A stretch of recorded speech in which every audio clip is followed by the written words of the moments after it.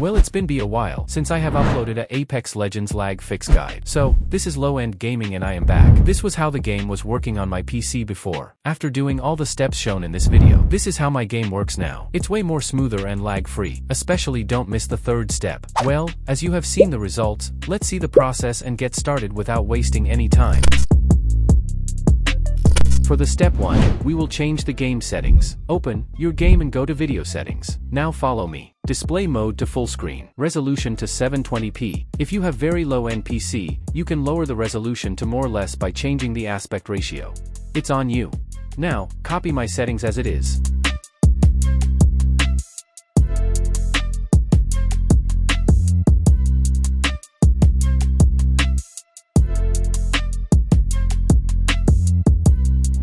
Changing all the settings, apply and now play your game.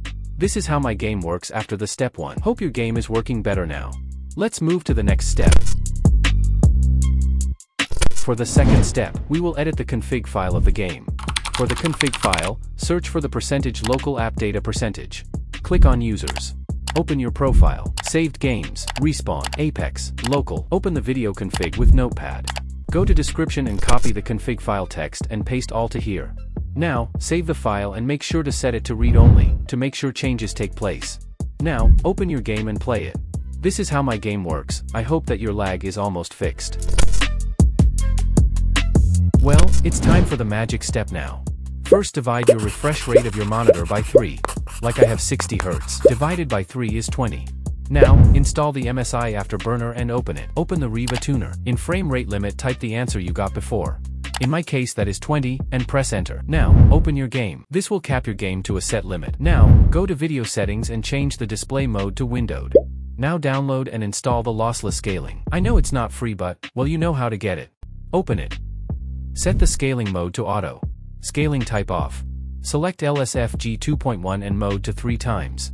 Now, click on scale and immediately enter your game.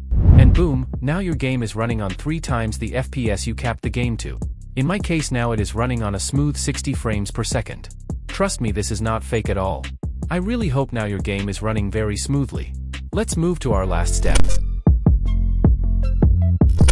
So, if your PC is slow, it can harm your game performance.